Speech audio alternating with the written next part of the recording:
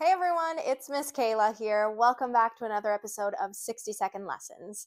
Today we're going to be exploring area and perimeter using something super cool, a geoboard. Here's what you'll need. A geoboard and some rubber bands.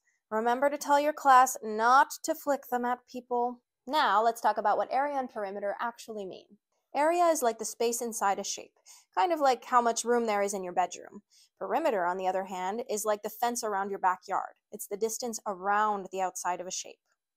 With our trusty geoboard, we can make all sorts of shapes, from squares to triangles to rectangles. And the best part, we can use these shapes to calculate area and perimeter in a hands-on way. Let's start with something simple like a square.